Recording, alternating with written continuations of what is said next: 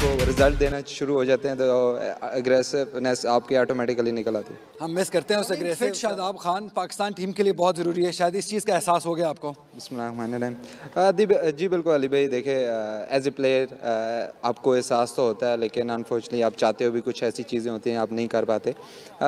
शाहीन अगर तुम बाबर से बदतमीजी कर सकते हो तो मुझे भी हल्का ना लो। नाजिन शादाब खान ने शाहीन शाफरीदी को घुटने टेकने पर मजबूर कर दिया। चैंपियंस कप के मैच में जब शाहीन शाफरीदी को शादाब खान ने मैडन ओवर करके कुछ कहा तो इस पर शाहीन शाफरीदी भी खासे गुस्सा हो गए और उन्हें तकते रहे। इस पर उन्हें शादाब खान ने वापस जाने का इशारा किया। जबकि कमेंटेटर्स भी इस मूवमेंट पर हैरान रह गए। जबकि शादाब खान ने इसी मैच में तीन खिलाड़ियों को आउट किया और पचास रन स्कोर करके player of the match award भी हासिल किया। तो आप शादाब खान के इस परफॉर्मेंस पर क्या कहते हैं कमेंट ज़रूर करें और मजीद इस तरह की वीडियोस के लिए वीडियो को लाइक करके चैनल को सब्सक्राइब कर दें।